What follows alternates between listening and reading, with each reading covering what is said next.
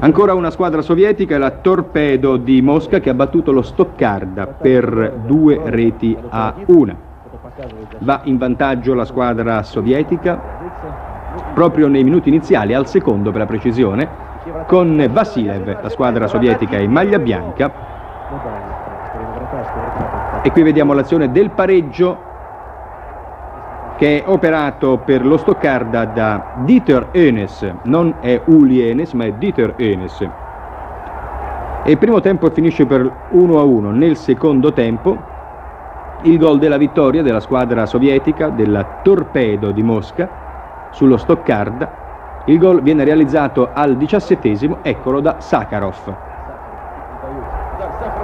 Torpedo batte Stoccarda 2 a 1.